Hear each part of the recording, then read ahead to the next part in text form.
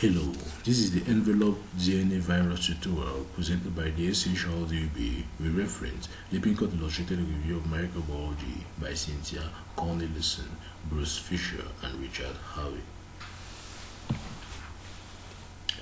So here we're going to visualize the envelope DNA viruses. So with the envelope DNA viruses, start with the classification. Under the envelope DNA viruses, you have no single-stranded envelope DNA viruses all the envelope DNA viruses are double-stranded. So we start with the classification. We have the genome type is DNA. And after the DNA, we have double-stranded. And inside the double-stranded, we have enveloped. Now, under the envelope viruses, we can have the Hepadna viridae. We're not going to speak about it in this tutorial. So again, in the envelope double-stranded DNA virus, you can have herpes viridae and under the herpes viridae we have the family alpha herpes viridae which is a herpes simplex group.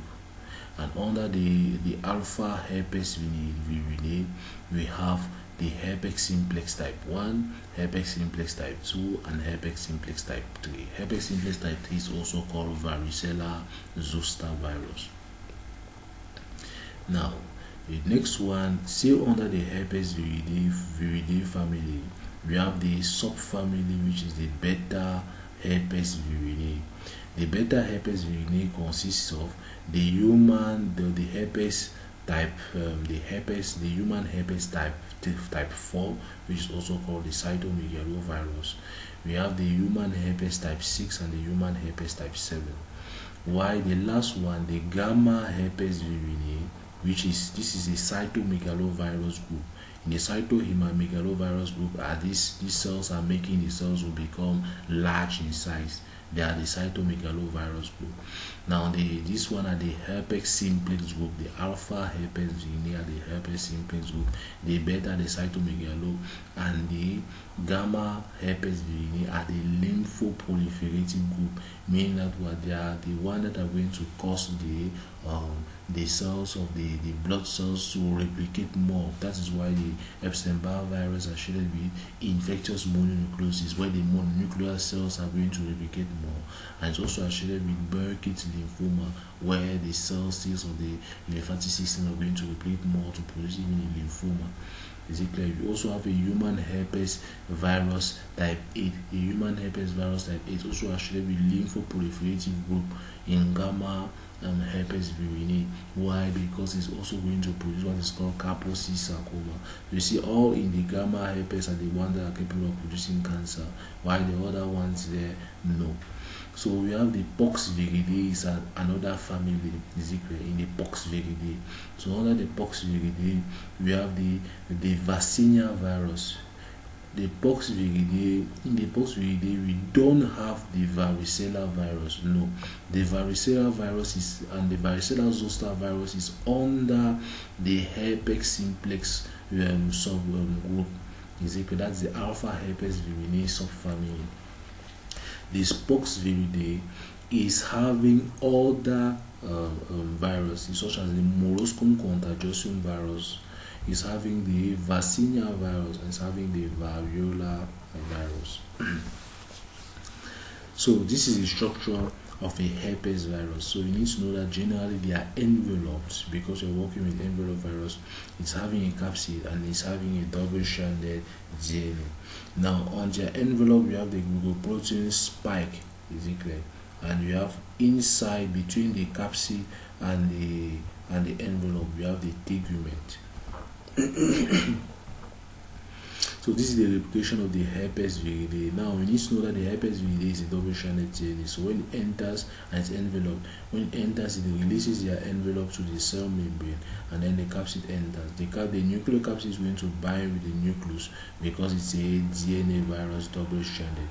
Now, since it's double-stranded DNA, what happened inside the nucleus now is going to the gene is going to be released into the nucleus now inside the nucleus now is going to act with the is going to act now with the um, the so we are going to have RNA of the host. The host RNA is going to act on it to produce Im immediate RNA production. Now, in those immediate RNA production are going to produce immediate early proteins, and those immediate early proteins are going to so still act like the, the, the, the polymerases are going to act again on those viral DNA to produce the delayed mRNA proteins. Now, the delayed mRNA protein is going to act at the level of the ribosome, are going to be transferred at the level of the ribosome to produce the delayed early proteins, which are still polymerases. Now, the polymerases are now still going to those uh, those late those delayed early proteins are going to still act on the on the viral DNA to produce the late mRNA mRNAs. The late mRNAs are now going to produce the late proteins which now are structural. Is it clear? And now the late proteins which are structural now can bind now with this because this now is going to is going to replicate. This now is going to be DNA replication, and they're now going to bind to produce the different capsid. Is it clear? Now the capsid is going to move out of the nucleus to when it, when it move out of the nucleus it takes now a envelope is it clear and now at that level now it can we can move out of the cell so that is how the herpes um, is going to replicate. Now this is an example of a herpes simplex stomatitis how the mouth the mouth resemble in herpes simplex stomatitis. So this is herpes simplex. You need to know that in herpes simplex it just produces multiple ulcers at the level of the genitalia which is painful with herpes.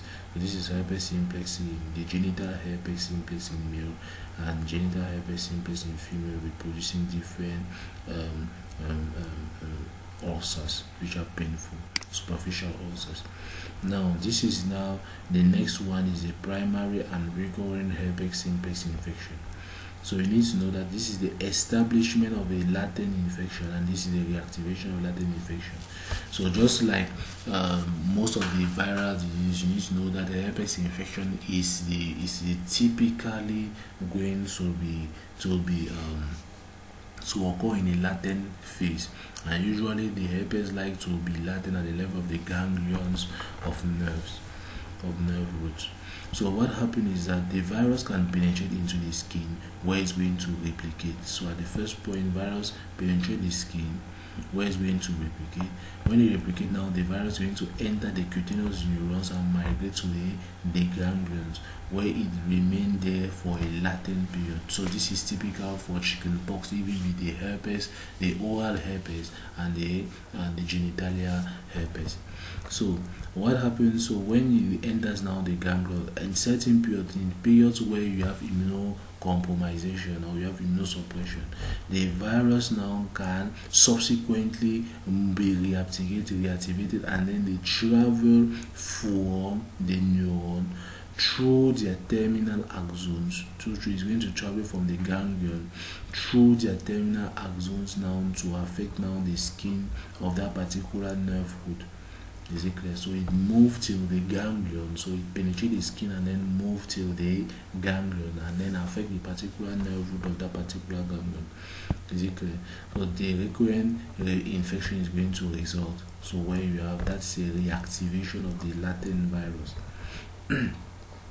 so now this is the mechanism of action of acyclovir. Acyclovir is the is a very important drug that is going to affect this herpes family. Clear? So this is a molecule of acyclovir.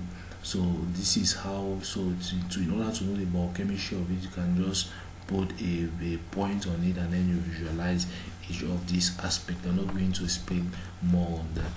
So the drug therapy of herpes infection usually you have the first line, the second line. The first line when you have a herpes infection is usually to use acyclovir. You also the first line can be famciclovir, but the second line which is topical is penciclovir. Is it clear? So what happens is that it helps in preventing um, the, the use of it inhibits the DNA polymerase action that's um, with acyclovir. Now we continue with the next disease now, which is the herpes shedding. So you need to know that chronic um, um, suppressive antiviral therapy. You need to know that in both men and women, famciclovir treatment reduces herpes viral shedding. Is it clear? so you see that you have famciclovir and famciclovir treatment act best in men and then it is going to reduce less in women. So let's say that in case where you give a placebo in men you see that the infection is going to still be high but the placebo in women needs to know that the herpes infection in women is going to be much more seen as compared to that of men. So yeah that is asymptomatic in case of asymptomatic shedding. So the women are going to be asympt- having asymptomatic shedding more than that of men. But when you give famciclovir it drastically reduces. Now this is the time course of varicella now this is just um, the um, the um, the life cycle of varicella and the period the periodicity of varicella. Clear? So you need to know that there are three main phases of varicella. The first phase is the incubation period. The second phase is the contagious period. And the, the next phase is the viral latency. Clear?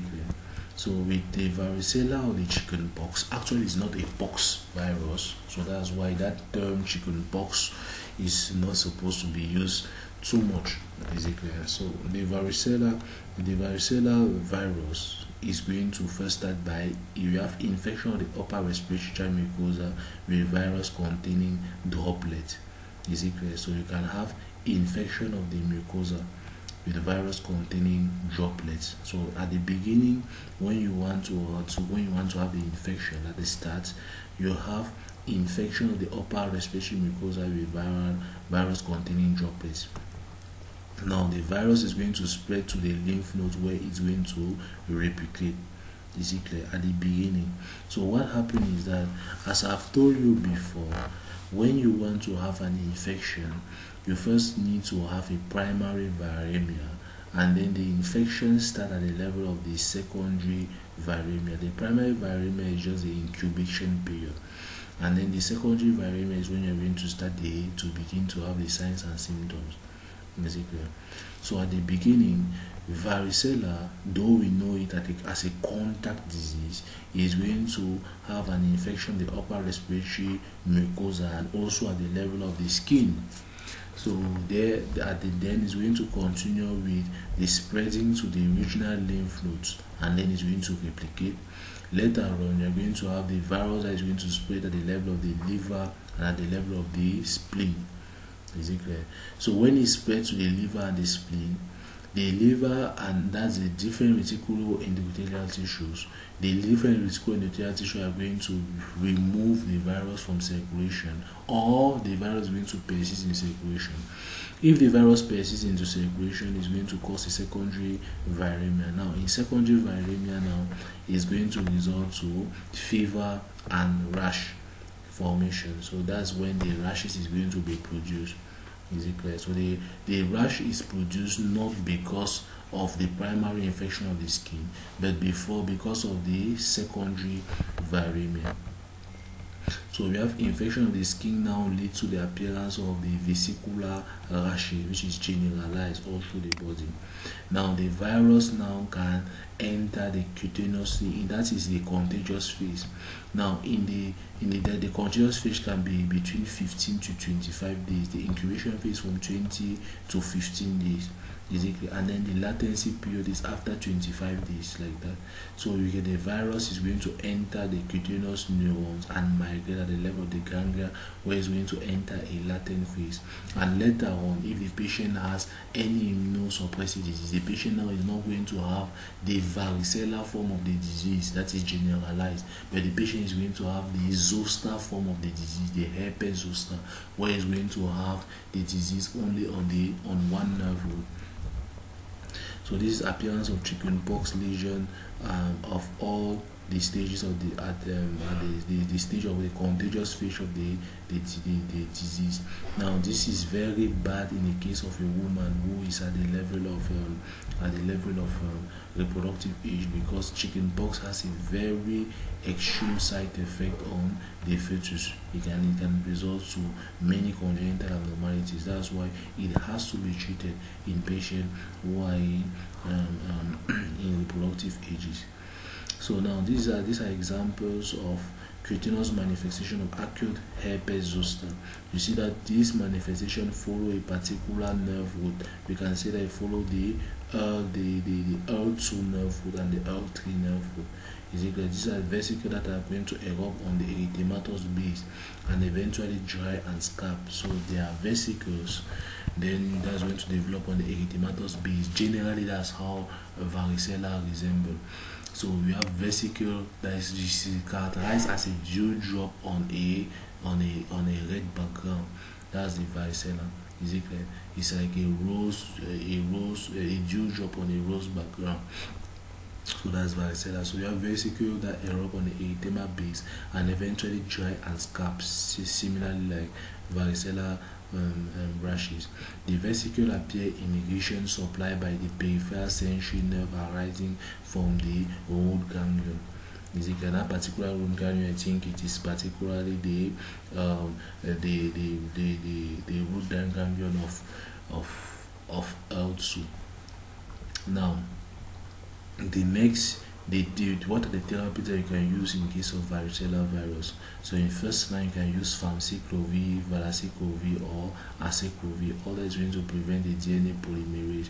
Because similarly in all the herpes um, and the herpes viridae family generally um, in the in the alpha herpes viridae you are going to have that same life cycle that you have seen above where you have a double-stranded DNA that is going to enter um, where you have uh, a double-stranded DNA associated that enters the nucleus is it clear? So in this case, still since it contains DNA, it's a DNA virus, you just want to prevent the polymerization of the DNA, the replication of the DNA, you use those drugs that were shown there. Now, this is a cytomegalovirus infection. Is it clear? So long section showing a typical owl eye appearance. So is it clear? So this eye appearance make me think again of another um, image on the lymph or the lymphatic circulation which is for Hodgkin lymphoma. You see, you can see also how these eye inclusions in cases of cytomegalovirus infection, which is not the same as Hodgkin lymphoma. So now these are newborns with congenital cytomegalo disease showing hepatosplenomegaly. So hepatomegaly is shown here and splenomegaly is the enlargement of the spleen. Hepatomegaly is the enlargement of the, the liver. So we have this. So we have incidence of the central nervous system, so disease in HIV um, one infected children without cytomegalovirus infection. So this is in case so this is children infected both with HIV-1 and cytomegalovirus. See that HIV increases the incidence of cytomegalovirus infection. So you see that when the people are not infected with cytomegalovirus in age in months, you see that from zero months to 18 months at the level of 12 months and 13 months that you see um, it's only at this period that cytomegalovirus increases but generally there is no infection with cytomegalovirus when they are HIV negative.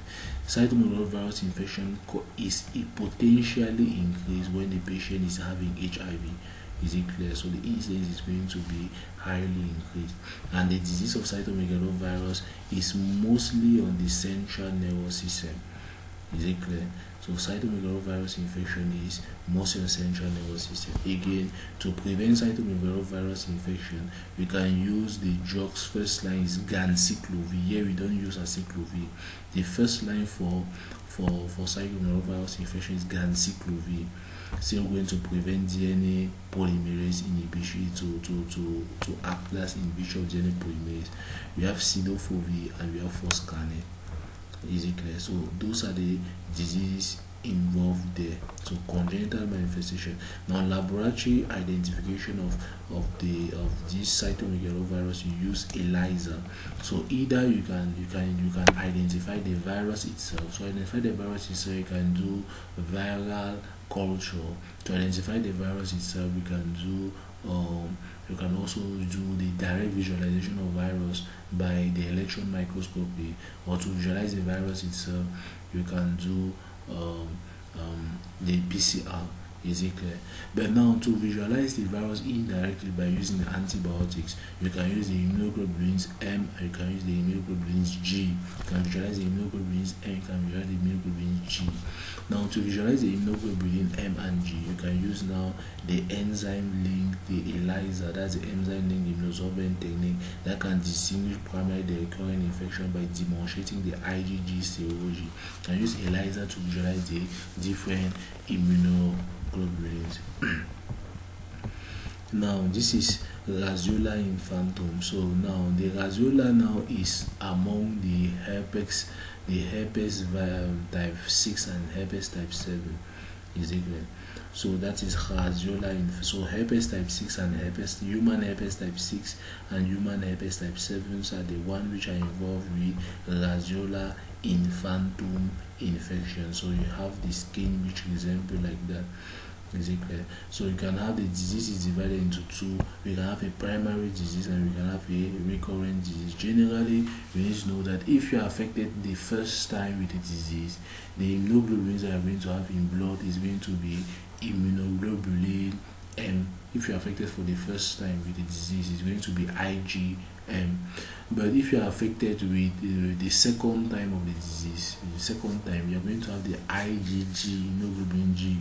Generally, there are five immunoglobulins, and the summarized with the mnemonics GAMD, G, A, M, D, and E. Those are the five immunoglobulins that are present in the human body. Is it clear? And then generally, immunoglobulin G is the one which is used in cases of infections. Is it clear? When you have recurring infection or you have you are infected the second time, is it clear? Why immunoglobulin M is when you have a primary infection, you are affected for the first time of your life. so laboratory identification of the human herpes type 2, you use the PCR to identify them. Is it clear? And the treatment now is you can use ganciclovir, you can use cidofovir, and use foscarnet. So just like in the case of cytomegalovirus, see that all in the beta herpes viridae family, we use these three drugs, ganciclovir, cidofovir, and foscarnet. Now this is the percentage of visit of emergency department of febrile illness associated with human herpes. So human herpes type 6, you see the age in more the highest age that it occurs in human herpes type 6 is going to be um, 7 to 8 months. Is it clear? So you see that the virus human herpes type 6 that causes Roseola virus is going to be highly increased by 7 to 8 months. But later one is going to reduce.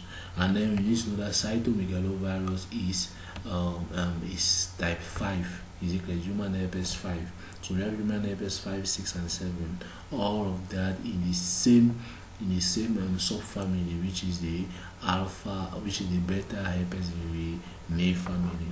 Now we continue with the next um, herpes viridae family viridae family which is the gamma herpes family constituting of the human herpes type 8 and human herpes type 4 which is epstein-barr virus. Now we need to know that what in human herpes type 6 you can have co-infection in case of HIV and you have terminal HIV infection particularly encephalitis is it clear? So you can have co-infection with human hepatitis accelerate the progression of HIV symptoms so if you have a patient having a human herpes type 6 and then you have HIV is going to accelerate the symptoms of HIV now Epstein-Barr virus this is Epstein-Barr. This is the pathogenesis of infectious mononucleosis caused by Epstein-Barr virus. So you need to know that the, the gamma herpes family, viridae family, subfamily is mostly um, referred to as the lymphoproliferative um, um, viruses. So they are mostly involved with replicating viruses, um, replicating the lymphatic cells. So take an example here. We have Epstein-Barr virus here so Epstein-Barr virus is going to be transmitted via saliva. It's going to infect the epithelial cells of the oropharynx, resulting to pharyngitis and resulting to shedding again in the virus in the saliva. Now, that after infecting the epithelial cells, now it's going to infect the B cells. I'm sure they are infected via the major histocompatibility um, class 1 uh, um, um, receptors. The next one is that it's going to infect now the B. So you're going to have B cell proliferation. When it infect the B cells, it does not shed up again. So it shed up at the level of the of the epithelial cells. After the epithelial cells now infect the B cells, in the B cells now it causes a B cell proliferation. Clear? Where you have a heterophilous antibody. So it's so you have agglutination uh, agglutinate shape and also red blood red red blood cells. So you are going to have this B cell proliferation so it's going to produce many antibodies. Then the next one is that you are going to have expression of the early Epstein-Barr virus um, um, proteins is it clear? Then after the expression of the Epstein-Barr virus protein now on the on the B cells the T cells now are going to realize that the B cells are abnormal because they have those abnormal Epstein-Barr virus protein on their surface now it's going to result now to the T cell activation the T cell activation is going to now produce atypical lymphocyte. The lymphocyte then is going to not going to be the same in case of infectious mononucleosis, and you are going to have enlargement of the liver, the spleen, and the lymph node. Is it clear? So this is just a mild form of Burkitt's lymphoma. So it's infectious mononucleosis. Is it so occurring between a period of four to seven months, resulting pharyngitis and lymph node and fever. But now later you can have other malignancies. So infectious mononucleosis is not a malignancy. The malignancy which can occur is Burkitt's lymphoma, exactly, which mostly occur in children affecting the chromosome 8. We can have also other malignancies like the Epstein-Barr virus, nasopharyngeal carcinoma you can have the Epstein-Barr virus um, infection in immunocompromised patient. now, the laboratory investigation for Epstein-Barr virus can use the serology where you can visualize the immunoglobulin G and immunoglobulin M. Now, the next one, and then you can also um, use the classic test for immunoglobulins is the the Paul Bunnell test and is based on non-specific elevation of the IG including the heterophile antibody is it clear. That is that specifically agglutinated with the horse and sheep red blood cells. So use the Paul Brunel test where you place the horse red blood cell and you place the sheep red blood cell and you place the blood of man. You're going to see agglutination of the horse and sheep red blood cells. It's just to tell you that there are many heterophile antibodies which are because of the B cell proliferation in case of infectious mononucleosis So it just tell you that you get those type of cell of, of cells are present. Also on the blood smear you're going to see the T cells are going to be atypical in shape. Is it clear? So you're going the cytotoxic T cells are atypical in shape just because of the T cell proliferation. So in case of T cell proliferation, laboratory investigation you can see atypical T cells and in case of um, B cell qualification, you can use the Paul Brunel test where you're going to see uh, agglutination with the horse and sheep. That is all with Epstein-Barr virus. now, what is the classic clinical triad of infectious mononucleosis? So, for infectious mononucleosis, you must have three things clinically. You must have fever, must have pharyngitis, and you must have lymphadenopathies. So, if you have fever, the patient has pharyngitis and the patient has lymphadenopathies. Usually, the enlargement of the anterior and the posterior lymph nodes. Just know that it's infectious mononucleosis. So, note acute infection is often asymptomatic in children, whereas adolescents and, and young adults show typical symptoms of the mononucleosis, infectious mononucleosis. Is it clear? So what is the transmission? The transmission of infectious mononucleosis is via the exposure of oropharyngeal secretions. So clinical manifestation of Epstein of of Epstein-Barr virus associated infectious mononucleosis by age group. So you are going to have patients generally less than 35 years and patients greater than um, 35 years shown in red. less than 35 years you are going to have less fever compared to more than 35 years less than 35 years you have more pharyngitis than more than 35 years. Less than 35 years you have more lymphadenopathies than more than 35 years. In jaundice is more going to occur in more than 35 years and the rash is more going to occur in more than 35 years. What's the inc the incidence of epstein-barr associated infection mononucleosis? Need know that the peak incidence occur between the age of 15 to 19 years. So it's not usually in children infectious mononucleosis more in adolescent and or adult so the incidence is 30 times higher in black than white in the United States. So infectious mononucleosis more affect people of our color type, blacks. There is no difference in incidence between both sexes, both sexes, and then 90 percent of the general population show the evidence of previous infection with Epstein-Barr virus.